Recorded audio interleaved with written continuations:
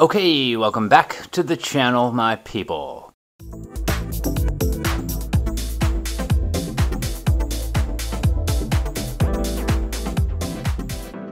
So happy to have you here. Hope everyone's having a wonderful day. Hope you guys had a really nice weekend. I know I did. Super relaxing. Really needed that day off. Did not do the Whatnot show Saturday. I just was exhausted and I needed a break. Yeah, unfortunately. Uh, I really wanted to do one, and sometimes you just have to listen to your body. And with the move and everything, things uh, starting to calm down a little bit, the Florida man needed a break. Today, we are going to fulfill uh, a request, a comment that I'm seeing in the videos quite often, and that is how to wheel swap a Hot Wheel. And I do have this really cool Ultra Hot Civic SI, and I would love to do a wheel swap on this.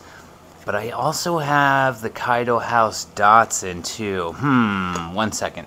Okay, I do have the mystery pack Mystery Models 510, the Kaido House Datsun 510, we could swap either of the two, the Civic or the Datsun. Now, I've done the Datsun before, never done the Civic. Oh, it's tempting, man. It's tempting. I've got a few different wheel options here. We have some gold wheels, some blue wheels, some uh, lettered tires there, Advan. We have a four bar wheel, the Toyo tire letter and here is some non-lettered tires, some gold 4 bars, some green kind of 8-spoke dealies. The only issue with these is the tires are thinner. They're not as the diameter overall is not the same as the letter tire, which you could see right there. I hope. Yeah, uh, basically they're the Advan, uh, the letter tires are a little bit thicker, and sometimes that's good. Sometimes you need a, a little bit larger diameter uh, for your wheel swap. So, gosh, I would love to see these blue Advan lettered tires on the Honda. The tires are interchangeable. These, it's this is not sponsored, but these are just from shopmonoblock.com. We'll also be using their premium axle, which is a three-piece axle, two outer pins, and a center section. We're going to have to trim that center section down, most likely, uh, depending on what type of width we need. Every base is a little bit different in width, so to have an axle that you can shape and size is really important for a, a smooth, easy wheel swap so you don't have any extra axle hanging out of your wheel there and the wheel's not super loose. So yeah, I think we're going to do another Datsun. I think I'm going to hold off on the Civic. I would love to open it and check it out. Uh, let's use the Advan tire, and I think I'm going to swap the tires and put them on this gold this gold eight spoke wheel. I think that will be the best look for the Datsun. Let's get her out of the package here. These things are like impossible to rip, by the way. Look, I can't even cut it. Oh, gosh, they're so tricky to open. Alright. Imagine this is the wrong car. oh. Ooh, it's nice. Look at that little 510, huh? So cool. Is it a four-door? No, I guess not. A little two-door 510. Kaido house right on the side. Yeah, this one's nice. The first one we opened had like a little uh, mark up there, but this one looks nice, dude. Yeah, so it already has a gold wheel on it. Uh, I really think... Yeah, yeah, that's going to be nice. So we're definitely going to need the we're definitely going to need the letter tire. I don't know. I guess the blue doesn't look too bad either, right? The blue, I don't know. I think the gold is the winner. We have the green, but nah. And then the blue 4 bar. That wouldn't be terrible. I think last time I used a chrome 4-bar. So uh, we'll definitely, I want to do a different wheel combo, wheel and tire combo this time. Alright, let me swap the tires out on these. It's just a matter of taking the tire off, taking the tire off, putting the tire on, putting the tire on. Okay, I have the last one here all done. Boom. Now we have the Advan tire on the gold rim and Wow, it does look awesome. It does look awesome. Give you a little little sneak peek here. So different, right? So different. But is it different enough? Is it going to be different enough to really make up for all this work? Let me see. Let me just do a little eyeball test my own here. Um, yeah, yeah, yeah, yeah, yeah, that's cool. That does look nice.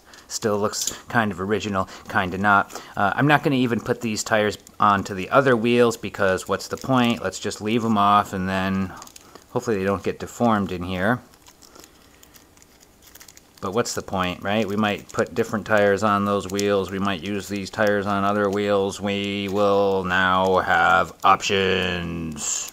So if you do buy the Shop Monoblock wheels, they will send you axles with your order. They're a basic axle and somehow you're supposed to put them on there and use like needle nose pliers and pinch the end and then you have like this little pinched end of axle hanging out of your wheel swap. No thank you sir, not in this house. We will be using the monoblock premium axle that we can again size to our base and crimp the little pins in holding our wheel in place.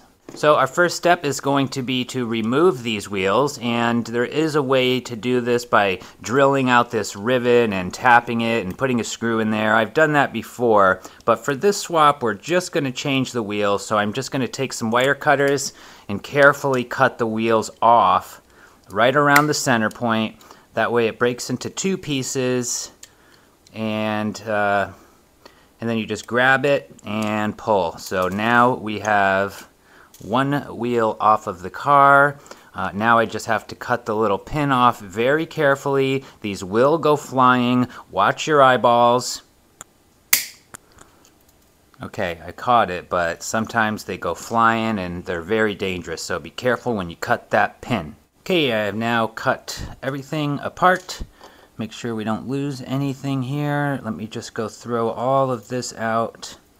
We don't need any of this stuff from the original wheel and axle setup. Be right back. So the premium axles, like I said, are, are great because you can take a premium wheel that you like and put it on your main line just by using these axles.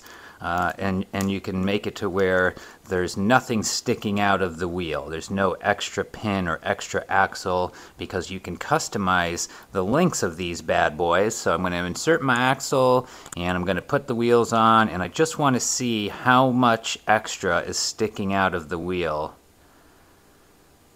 if any. And then we're going to use our Dremel and we're going to trim off the excess piece of the axle if there is any. Sometimes it lines right up and you're good to go. This one's going to need a little bit taken off the front. And let's see what we have to do for the back.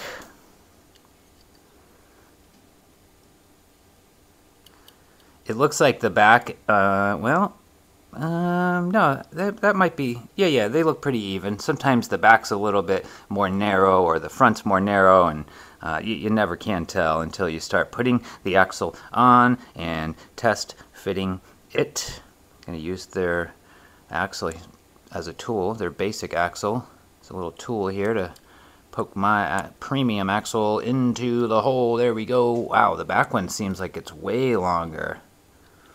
Maybe they are a different size, the, the base front to back. Let's see. Let's flush that up. What do we have? Oh, we lost a wheel. Nah, it might be about the same. So I'm just going to take my Dremel and I'm just going to shave off a tiny little bit here. Just a little bit. I'd rather cut too little than cut too much and have a ruined axle. Okay, using my safety glasses, of course, and the Dremel, I was able to shorten our axles, hopefully not too much. Hopefully I didn't do it too much. but we're going to find out right now. So we'll do, uh, we'll do a little test here. Oh yeah, that, that does look, that looks better already. Gosh, maybe I didn't uh, take off enough of the axle. Ooh, them gold rims look nice on there with the Advan tires. Slicks, of course. Race car. You know, slicks on your race. Okay, I forgot hat mic, but yeah, we, we trimmed our axles down, hopefully not too much. Uh, I did use the Dremel, and of course I had my safety glasses on. And now we're just doing a little look-see to see. Huh. Yeah, it still might be too long, honestly. I may not have taken off enough, which is fine. You'd rather go a little bit at a time than, than ruin your axles. Yeah, I'm afraid that might be too loose. If I if I if I crimp it, I'm afraid the wheel might be a little bit too loose. Let me test the back just in case we have to take a little bit more off the back as well. But like I said, you'd rather take off a little at a time. Okay, looks good. Yeah, I'm to take just another, gosh, I don't know how many thousands, but just a little bit more. I'm to take a little bit more off. Hold on.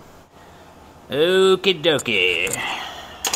We have now shaved our axles twice, and uh, I'm pretty sure they're going to be fine. I'll do a quick test fit up front just to see, just to make sure.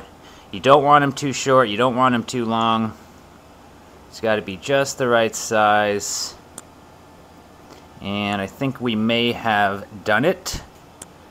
Poke this in. Wow, it looks great with these wheels. Gosh, is it still too long? What? Flush that up there. Man, it might still be a little too long, unfortunately. But, you know, it's better to take a little bit off at a time than to take too much off and then your axle is ruined. Let's see this other axle just in case it like slipped out of my hand. Yes, I was holding it in my hand, I know. Not safe. Not OSHA approved. Man, these little axles are great tools. I, I should keep them for pushing in the, the pin at the end here. You'll see what I'm talking about in just a second. Come on. Get that nice and flush. Gosh, I think they really need a little bit more. Alright, round three on the axle trimming. This always takes the longest for me. Okay, hopefully that was enough. Third time's the charm, my people. Let's see, it looks exactly the same. Every time I put it back in, I'm like, oh, looks exactly the same as before, but we are just taking off very minute amounts of material at a time over on my fancy machine shop of a Dremel and kitchen sink. Okay. It's still a little long. Come on. What is going on here? Are we not flush on that side? Maybe it is the right length. Let's see. Oh, yeah.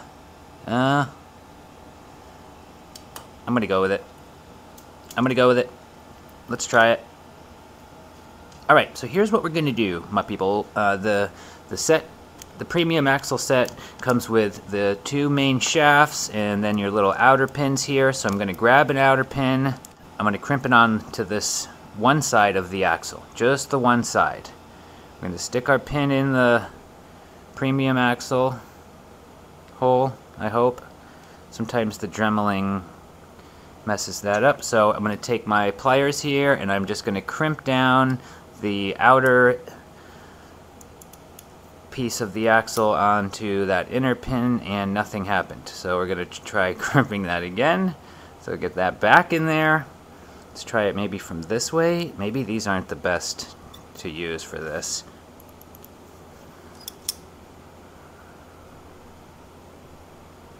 Yeah, I don't know. She's a little loose still. Let's see.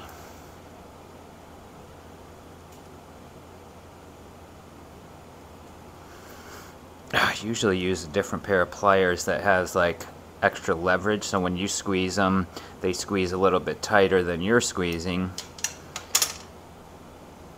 Because I don't want nothing falling apart falling apart. It's still a little loose but I'm just gonna send it. Alright so we're gonna stick this one through here. Actually wait what we need to do is take another pin on the other side and I'm going to put it in here and I'm going to softly crimp it so that it comes back out, but it's still tight when we go to put it back in, if that makes sense. So we're just going to carefully try to, just a nice little soft crimp, nothing, nothing crazy. So I want to be able to pull this pin, oh, that's too soft, no big deal, we'll try it again.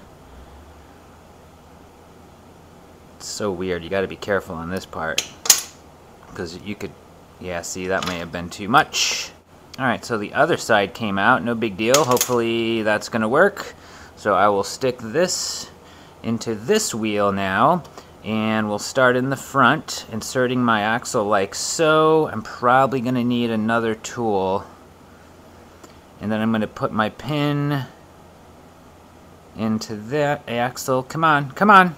As you can see here, I, I have the crimped side all assembled here. Now I'm going to put this axle pin into there. It should be nice and tight. And I'm just working that axle in place. Oh gosh, they're still way apart. Okay. Might need to get... Where's the other... Where's the other axle? There it is. Let's see if the axle will work as a tool. I normally use like a little electronic screwdriver to to send it home. This part can get tricky. Yeah, we're gonna need, let me get another tool. Hold on. Okay, what I do is take like these little drill bits and they work great to help send this axle home using the right size, of course. That's a little big. Put that one back. And then we'll just grab this little guy. That'll hold that one. And then I can use this flat side over here. And, oops, I missed. Just push everything together. Ow. Ow, something's biting in my foot. What's down there? Ow. Come on, axle, you can do it. This part's tricky. Come on, pushing. Oh, it's going. It's going. I think we got it. I think we got it all the way. Use this axle that they gave us as a tool. That's so great. Thanks for the tool. Let's try. Wait, that is the smaller bit. Okay, put you right there and put you right there. I think that's it. I think we sent it, dudes. Dude, and just like that, wow, she's a roller. Holy cow, look at that. Dude, this thing might actually go on tracks. Let me try it. Oh, that's nice. Wow. Yeah. Oh. Look at that.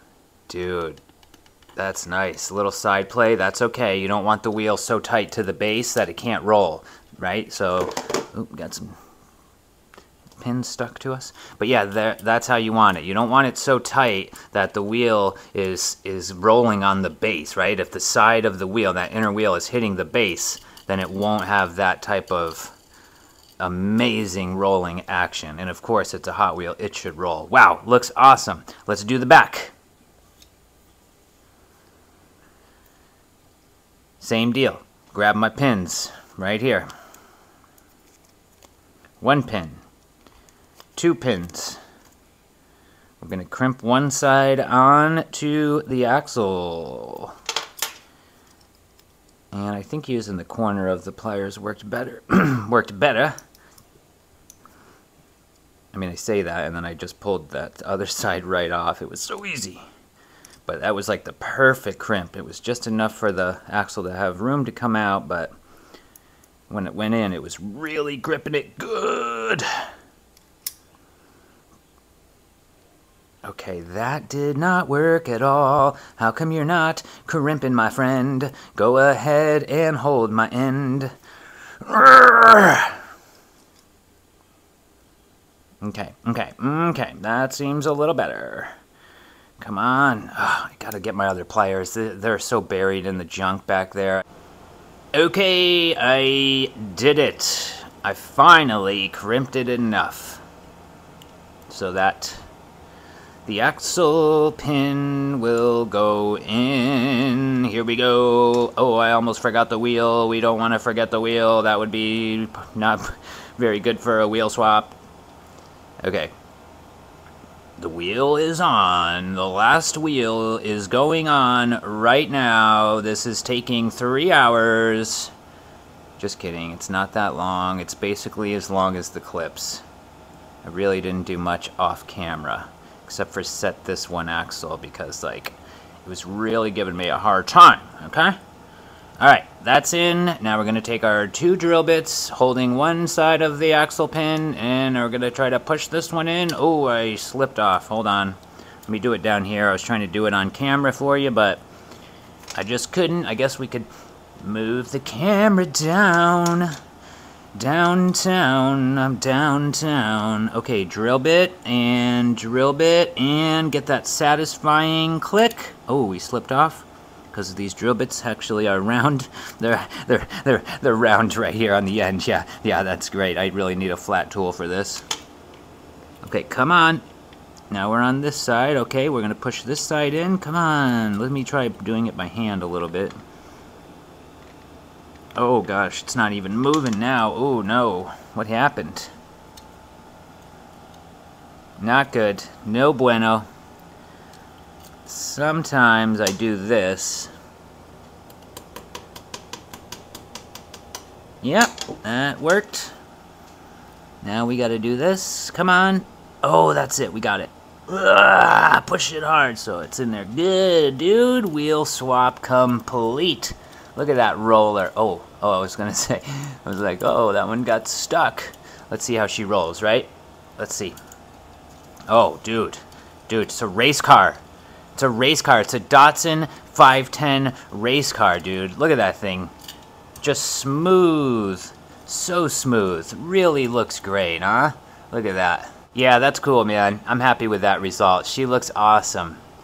Look at that. The new gold wheels, even though it had gold wheels. I threw them away, but you know, you know what I'm saying. Gold wheels, the Advan tires, looks great. ShopMonoblock.com, this is not sponsored yet. I've asked them to partner with us, but uh, we're going to do the white tire chase and like so here's a gold wheel right I probably shouldn't have used this yet actually now that I think about it but whatever we'll order another set of gold wheels all right whatever I still have the four bar ones but darn, man, that was dumb. I should have saved those for the chase thing. But whatever, we'll order more. They're they're they're not they're cheap. They're like five bucks a set, something like that. You get multiple sets in your order for like 20 bucks. So so there it is, the Kaido House 510. Uh, they are shopmonoblock.com. They are going to send us some white tires and some stuff to do our chase wheel swaps.